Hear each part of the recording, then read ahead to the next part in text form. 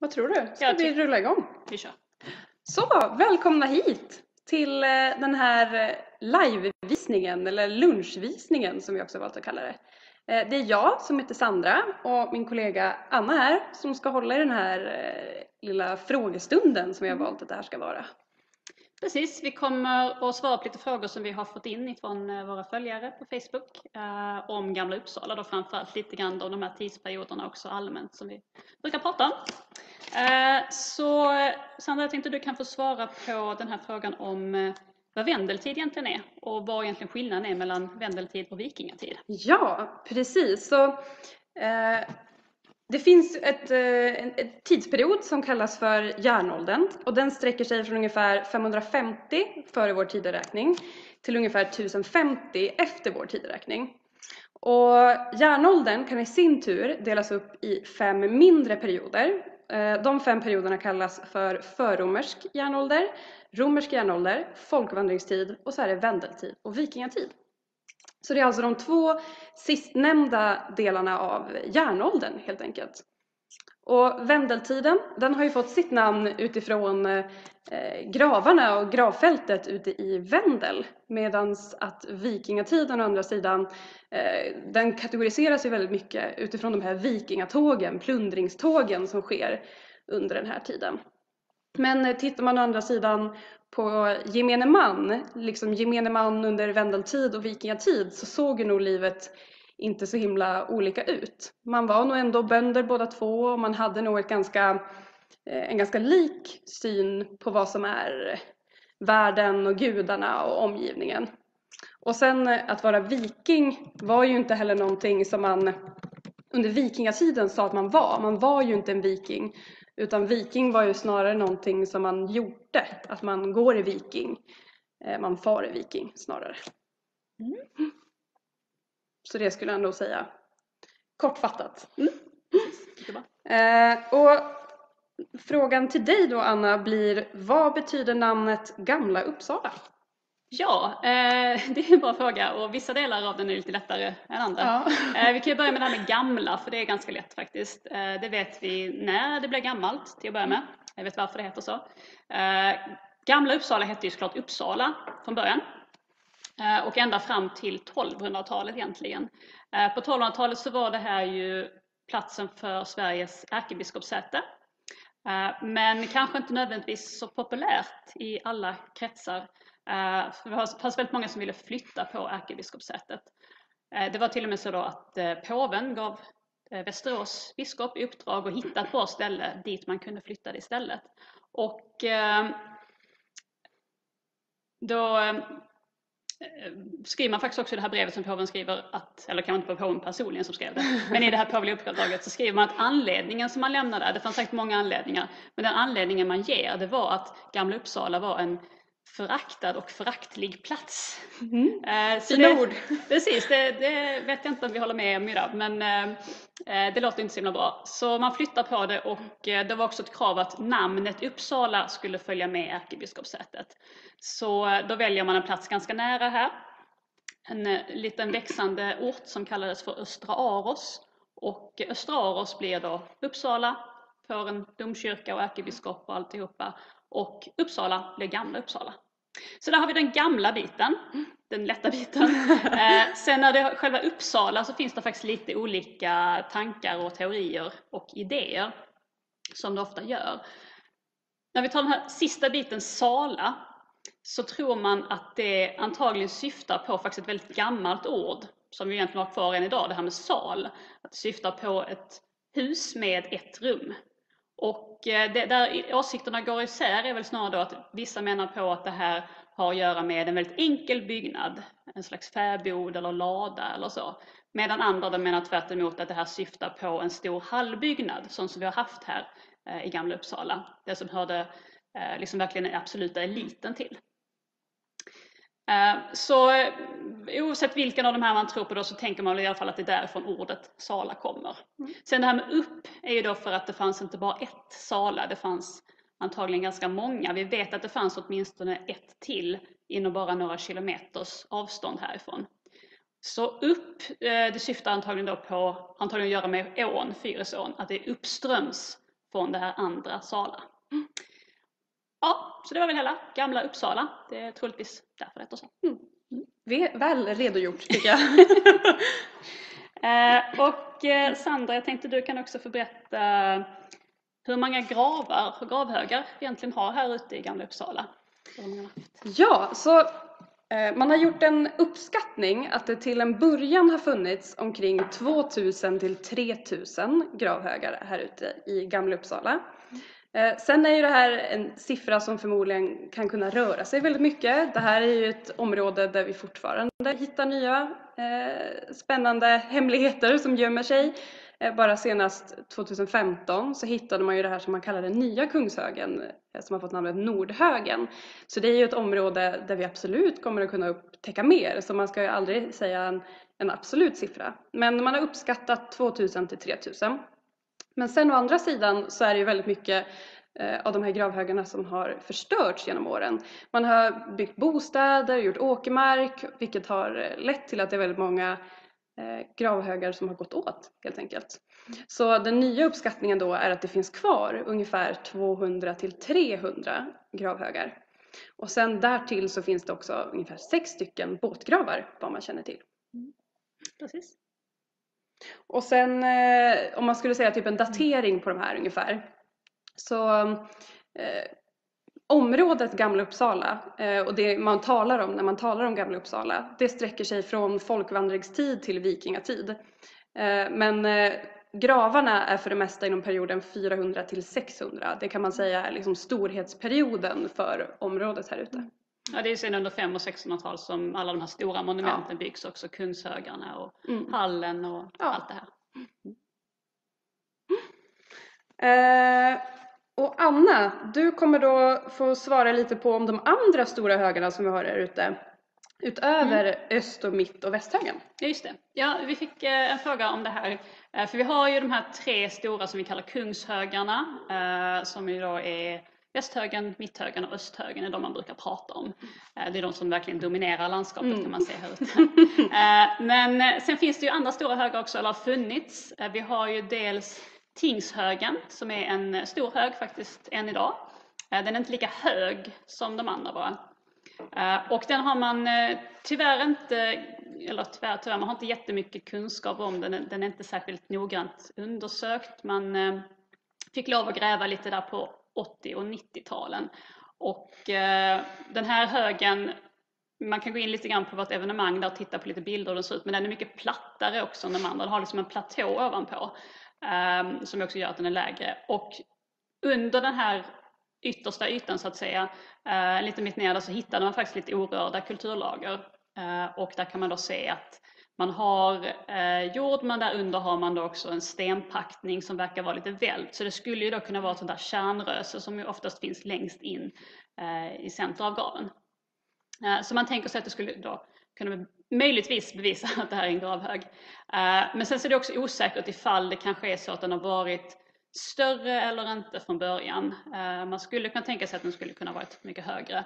Men det är inte heller någonting ovanligt att man har den här platån på sådana här eh, högar just i Mälardalen. Det finns det andra exempel på. Eh, Men det är en ganska rejäl platå och anledningen till att man kallar den här för Tingshögen är ju för att man tänker sig att det troligtvis var där man höll eh, ting, alltså som ett politiskt religiöst, eller inte religiöst men juridiskt möte Mm. där man samlades och fattade beslut och sådär. Och just då den är liksom formad som en stor scen kan man säga, att man kunde hålla till där och synas och träffas. Um, och eh, annan intressant faktum är också att det står en rest sten ovanpå högen eh, som då också har kontakt med de här äldre kulturlagen så den verkar ju ha stått där eh, redan då på vikingatid eller vad det kan tänkas vara för Mm. dateringar på det här. Eh, så den, den finns ju kvar också. Eh, men eh, det är väl det man kan säga egentligen om Tingshögen. Sen har vi ju då också den här ganska så nyupptäckta Nordhögen. Den hittade man faktiskt inte förrän för fem år sedan, 2015. Så var man där och fick eh, gräva ut. Och då hade egentligen arkeologerna tänkt sig att det var en eh, husplatå från eh, medeltid som de skulle gräva ut. Eh, visade sig inte riktigt stämma. Eh, de hittade, eller det de trodde var en platå, det var ju antagligen också en platå alltså uppbyggt för att bygga någonting på. Men de dateringarna de hittade där, det var snarare medeltid, det var 1100-tal. Och verkade då vara en slags grund för en palissad som ett stort trästaket. Men under där så hittade man mer spännande saker. Mm. Och då kom man ju på det här med faktiska vändeltida lämningar. Eh, och då var det ju just ett gravröse faktiskt man upptäckte. Man hittade en, eh, ett lerlager tror jag det var precis ovanpå det här mm. och där hittade man också lite ben som man kunde datera. De här dateringarna det blev någonstans eh, mitten av 600-talet tror jag det var.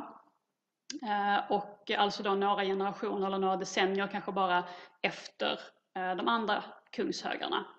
Så ungefär lika i tid där. Och man ska tänka på också att det här var ju inte en datering av eh, själva gravgömman, för den har man ju inte undersökt, utan det här var ju liksom utanpå kärnröset. Mm. Eh, men i alla fall, väldigt, väldigt stort eh, eh kärnröse i den här eh, som gör att man tror att det skulle kunna vara en jätte, jättegigantisk grav den här också. Um, ungefär en slags, någon slags 30 meter i diameter tror jag mm. faktiskt att det var på, äh, på kärnröset. Uh, ungefär näst, ja, 1,6-1,8 Eh, meter högt, någonting i den stilen. Eh, och man hade också en del av eh, jorden ovanpå kärnröset i intakta lager så att säga. Så att man räknar med att det skulle vara minst tre meter hög men troligtvis ganska mycket mer då för att det, mm. det är bara det man har kvar. Så man räknar med att det här kan vara riktigt, riktigt bamsehög från början men det har ju då antagligen schaktats runt ganska mycket i samband med, att man byggde domkyrkan och eh, att man då höll på att göra den här platån för det var, var vad, man skulle, vad man skulle göra där på den tiden. eh, så att eh, där hände lite saker då också som gör att vi då inte har så mm. mycket kvar av den idag. Och är man eh, lite extra intresserad av Tingshögen så kanske vi kan avslöja också att Mytfakta kommer snart att komma ut med ett mm. avsnitt som handlar om just Tingshögen. Så är man jätteintresserad av den så kommer det mycket mer information om den snart. Precis. Lite reklam här. Exakt, vi hoppas såklart att alla följer vår webbserie Mytfakta. Där tar vi upp lite olika mm. idéer och myter och saker om Gamla Uppsala. Då blir det Tingshögen mm. nästa gång. Jajamän. Men eh, det ska vi inte göra nu, eh, utan eh, vi har också haft följare som skulle vilja veta hur gravhögarna egentligen ser ut på insidan. Nu var vi inne lite på det ja, här med kärnröster. Det var ju bra du, att du... Ja, du kan få förklara. Bra i tiden. Eh, så högarna som man ser här ute är ju framförallt brandgravar, vilket innebär att man har haft ett, eh, ett likbål för den döde. Och på det här likbålet så har man eh, då bränt den döde tillsammans med ofta kanske ägodelar eller lite gravgåvor. Så har man låtit det här brinna ner och efter att eh, likbålet har brunnit ner så har man samlat ihop resterna. Eh, ibland bara som det är och ibland har man samlat ihop det och kanske placerat i någon form av kärl, till exempel en urna. Och därefter så har man då byggt upp det här kärnröset eller stenröset ovanpå. Eh, och sen har man haft eh, sand och lera och torv i lager upp därefter. Och intressant kan också vara att veta att man ser ofta att själva högen har placerats på den platsen där man höll likbålet också. Mm. Och Anna, du ska då få svara på hur kom man till Gamla Uppsala på järnåldern? Ja, eh, den kan vi nog köra ganska kort. Man får mm. nog tänka sig att eh, helst med båt, mm. antagligen. Eh, fanns inte så mycket till vägar på den här tiden. Eh, det var mest, eh, mest båtvägar så att säga. Vi hade ju en eh, högre vattennivå också. Mm. Vi har haft landhöjning sedan dess och det är också så att det är mycket som är Eh, dikat och dränerat mm. och sådär för jordbruket. Så att eh, lite högre vattennivå, man kunde ta sig fram med båt på lite fler ställen. Så att kunde man komma med båt så gjorde man väl gärna det. Mm. Kan du nöja oss där. Ja. Sen har vi fått en fråga också om mitthögen. Eh, som ju då är den mitterska, den mittersta. mittersta av eh, kungshögarna såklart. Och Eh, den är inte utgrävd så det, det vill folket gärna veta varför. Ja, det här är en lite eh, halvkomplicerad fråga och inte komplicerad för att den kanske är svår att besvara utan snarare kanske för att det är lite tråkigt svar. Eh, så Mitthögen är ju delvis undersökt, bland annat på Eh, 1920-talet så har man gjort lite mindre undersökningar av den för att liksom bland annat kunna konstatera att det är en gravhög. Men den har inte blivit utgrävd och anledningarna till att den inte är utgrävd det eh, är flera kan man säga. Bland annat så är finansiering en faktor till varför man inte har grävt ut den. Sen är ju också att den står ju väldigt skyddat högen som det är. Det finns ingen exploatering i området, det är ingenting som hotar högen och högens existens. Att vi, vi bygger inte en järnväg mellan väst och östhögen och att eh, mitthögen måste ryka eller det byggs inga bostäder nära inpå. Eh, så syftet med att gräva ut högen eh, finns ju kanske inte riktigt där just nu. Och varför syftet inte finns har ju också mycket att göra med tekniken. Att man kanske inte känner idag att man har tekniken för att vilja gräva ut den här högen. Att man tänker ju alltid att tekniken blir bättre i framtiden. Att eh, Anna hon sa det så bra att eh, arkeologi det är en väldigt förstörande vetenskap. Det, egentligen är det ju det. Eh, så man förstör ju en hög i och med att man gräver ut den också. Och på så sätt så kan man ju tänka att då har man en chans att gräva ut den här utan att den blir förstörd. Eh, och då om man väl har den här enda chansen så vill man kanske också göra det rätt från första början. Mm. Och när man då ändå vet lite grann vad som finns i högen utifrån att man har tittat i östhögen och västhögen mm. så kan man nog också tryggt avvakta och vänta lite på teknik och syfte eh, och skjuta det lite på framtiden. Man kan inte göra mm. samma utgrävning två gånger helt enkelt. Så då vill man vara säker på att det ska bli bra. Ja. Ja. Mm. Eh, och då Anna, då är det hur roade man sig på den här tiden? Ja, eh, man kanske kan tänka sig att det var nog inte alla som hade jättemycket tid eller möjlighet att ha sådär eh, mycket tid att roa sig. Mm. Men vi vet ju i alla fall för de allra rikaste så fanns det gott om eh, lyxhobbys man kunde syssla med. Eh, en sak som är ganska enkel som man ju hittar inom flera olika samhällsklasser så att säga, det är ju brädspel. Eh, det hittar vi till exempel i de här allra finaste båtgravarna. Vi hittar spelpjäser i våra kungshögar här. Spelpjäser av elfenben och valben och sånt där. Eh, spelbräden hittar man i vissa gravar också. Eh, och vi har ju faktiskt ett spel som vi vet att man spelade redan på vikingatiden som kallas för nefataffel. Väldigt kul ord. Ehm, så det har man ju såklart och eh, sen fanns det ju musik, det finns ju musikinstrument, man kunde ju spela mungiga, man kunde ju spela på kohorn och sådär. Eh, men det riktigt, riktigt, riktigt lyxigt nöje att syssla med det var jakt. Uh, ifall man var rik då ska man ut och jaga med hjälp av sina jakthundar och sina jaktfåglar. Mm. Uh, det får man inte lov att göra i Sverige nu för tiden, man får inte lov att jaga uh, levande byte med jaktfåglar. får man i vissa andra länder. Men på den tiden så gjorde man ju som man ville om man var rik och mäktig. Eh, så det har vi hittat i många av gravarna här faktiskt, eh, just eh, till exempel klor då av jaktfågel. I Mälardalen så verkar det som att det är duvhök som är den vanligaste jaktfågeln man använder sig av. De som stöter på det här de menar på att det finns vissa fåglar som är bättre för vissa olika typer av landskap ifall det är mycket skog eller det är lite skog och så vidare. Och vi har faktiskt också hittat mer eller mindre bevis för att man har tränat jaktfåglar här i Gamla Uppsala på vikingatiden. Eh, I ett grophus från vikingatiden så hittade man, eh, Grophus är för övrigt en väldigt enkel byggnad, fyrkantig grop, tak på, grophus. Eh, där hittade man då dels ben efter duvhök men då också ben efter bara vingarna på en skogsduva. Och just vingarna, det var något man använde sig för av när man tränade sådana jaktfåglar. För det här var ju ett av deras bytesdjur som de skulle jaga, det var ju skogsduva. Så man fäste de här vingarna i ett snöre, svinga runt dem eh, och så kunde man då eh, träna jaktfågeln på det här sättet. Och det som är kul också det är att där har vi faktiskt eh, eh, illustrationer, bilder från medeltiden på det här. Eh, och det är ofta kvinnor som håller på också i fina kläder eh, som håller på och tränar jaktfåglar på det här sättet. Där har vi lagt upp en bild i evenemanget också man kan kika på hur det kan se ut. Eh, så det är ett, en hobby, ett nöje mm. Eh, man kunde roa sig med om man hade möjlighet. Mm. Och det var egentligen de sista ja, av de vi, frågorna vi fått precis. in i förväg. Jag kan nämna, exakt, kan nämna lite, vi har fått in lite frågor under precis. tiden här. Eh, en som vi kan svara på här kanske det var ifall det fanns asatro på vendeltiden. Mm. Och jo, egentligen så är det ju inte någon större kulturell Nej. skillnad mellan vikingatiden och vendeltiden. Så i stort så verkar det som mm. att man har eh, ja. samma gudar. Ja. Man säga. Eh, sen har vi fått en del lite mer eh, kanske avancerade frågor. Vi får se om vi kanske ska spara dem till en annan gång. Um, en väldigt intressant fråga om ifall uh, de som är begravda här bara är folk som bodde i Gamla Uppsala eller ifall man liksom kunde ta sig hit om man mm. bodde någon annanstans för att man ville begravas här. Mm. Jag tror inte vi vet det så noga. Eh, Man skulle nog kunna, ifall man hade alla möjliga möjligheter, så Ja. skulle man nog kunna kolla med DNA och sånt där ifall det är folk som kommer väldigt långt bort ifrån. ja, Eh, Men närområdet sådär vet inte, det är nog svårt att... men det, man har ju hittat ändå, ja men som Anna var inne på, grophus, man har hittat ändå bostäder i, i området. Så Ja, det är många som det bodde. Precis, det är många som bodde här. Eh, Så det som är det intressanta är väl kanske just det här, de som var tillresande, att det skulle man gärna vilja veta mer om. Eh, Men precis, du kan eh, svara din nioåring att eh, det bodde ju folk här. Mm.